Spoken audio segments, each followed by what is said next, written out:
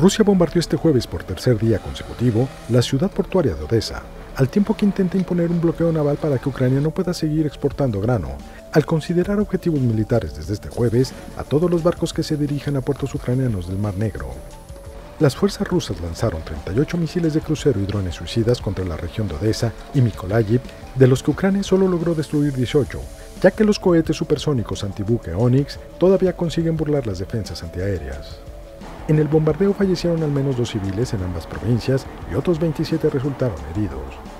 Ante ello, el alto representante de la Unión Europea para Asuntos Exteriores, Josep Borrell, advirtió que los bombardeos por parte de Rusia del cereal almacenado en los puertos ucranianos de Odessa generarán una enorme crisis alimentaria en el mundo.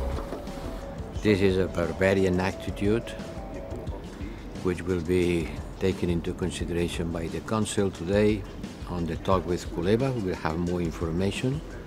But what we already know is that this is going to create a big, a huge food crisis in the world.